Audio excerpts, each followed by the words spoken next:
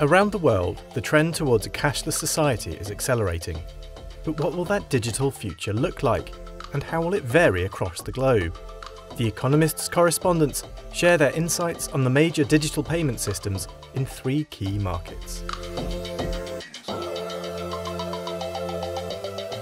There have been sort of a few winners from this trend, um, which sort of really accelerated uh, during COVID 19, uh, during the pandemic, when people were sort of having to shop for everything from home. So in particular, in places like the US, people have been using those cards more and more as payments have shifted more digitally. The reason that network is so um, sort of entrenched and so resilient is because it has an extremely sort of clever underlying model, which is that the card issuers, Visa and MasterCard, charge enormous fees to the merchants.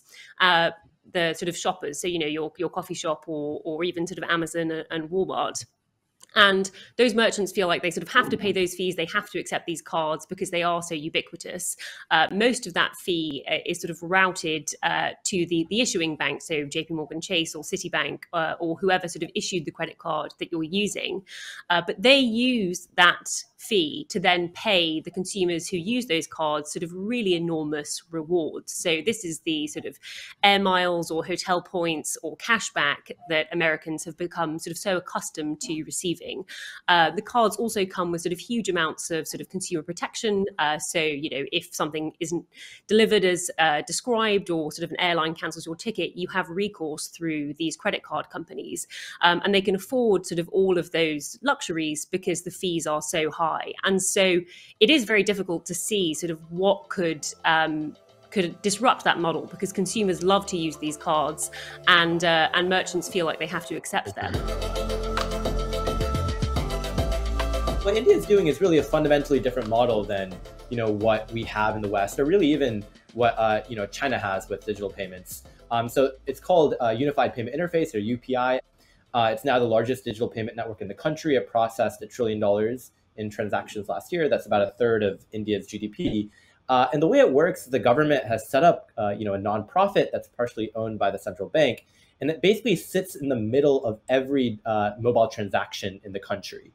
Um, so there are a lot of banks, a lot of fintech wallets in India, just like other countries. But what they've done is they made them all uh, talk to each other. Uh, uh, it's called interoperability, where the UPI system sits in the middle of each one, and they have a common set of standards and APIs that allow, allows for payments between uh, my bank account and your bank account directly, facilitated by a fintech app and the UPI system.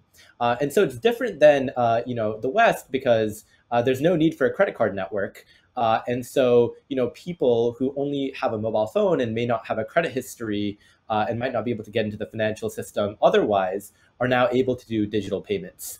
Um, I think that's like a pretty big change for a country that was previously mostly uh, using cash. One of the things that's so fascinating is how a shift towards these type of payments can unlock a whole range of other changes within the financial system as people have uh, more data generated about their transactions. So it changes their credit worthiness, which in turn might change their ability to get insurance or loans. How is that playing out in India? Loan provision has basically taken off uh, you know, as a result of uh, the data produced by UPI. They have a system where you can basically export your data. Uh, let's say you're using one payment app or one bank, you can export your data. It's called the account aggregator system, and then you can import it into another, uh, you know, uh, financial services environment. So basically, allows you to kind of uh, own your own data and, and, then get you know financial services from anyone. Um, and I think that that like kind of linkage between payments and other financial services is what's really taking off around the world. Okay, so we have the newest model, I think it's fair to say, or one of the newest models in India. You have this 60 year old model in America and Europe with the, the bank card system. And then in China, you have something different, right? Which is which is neither. Uh, you have a statistic in your report, Arjun, about how Alipay and WeChat control about 90% of digital payments in China. And I remember the last time I was in China, this is pre pandemic, but trying to pay for something with my credit card and it was even at a western chain i think it was a starbucks and they had to go to the back and get out a credit card machine and plug it in because everyone else was paying with their phones and so tell us for people who might not be familiar what that payment system looks like and what its longevity is you think in china or how it might be used elsewhere so it's not it's not an open system uh, like upi is but it's also not like a card network. Uh, um, how the U.S. works. Rather, it's you know a fintech app um, uh, or two, as you mentioned, Alipay and WeChat Pay, and they're closed networks. That means uh, you know you can typically only pay from one Alipay account to another Alipay account, or from one WeChat Pay account to another WeChat Pay account. And the reason why the the, the system kind of took off the way it did is because in 2011, um, you know, Alipay, Ant Financial, they basically, uh, you know, at the time it was Alibaba, they basically launched a, a, QR code system where you could basically scan a QR code at a merchant shop and then you could pay directly. And that was really groundbreaking because previously you needed expensive card readers, as you mentioned, uh, which you know a lot of businesses in an emerging market you know don't really want to spend money on, which is why they would prefer cash. But QR codes are super cheap. You just need to you know slap a sticker on your storefront, and then you can start accepting digital payments. And by then, smartphones were getting you know becoming more ubiquitous. So that's kind of what allowed Alipay to really take off. And then WeChat Pay was able to basically copy it and grow because, you know, WeChat was used for messaging, right? It's, it's kind of like, you know, as ubiquitous as like a Facebook is in the West.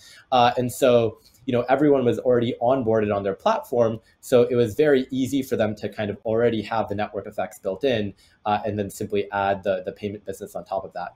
And so just to give you context, some context on the numbers here, you mentioned the 90% of uh, statistics, right? 90% of digital payments were happening on these two platforms. It's also a hugely valuable business because of the other services they put around uh, the payments. So, you know, Alipay got, uh, Financial got really into lending, right?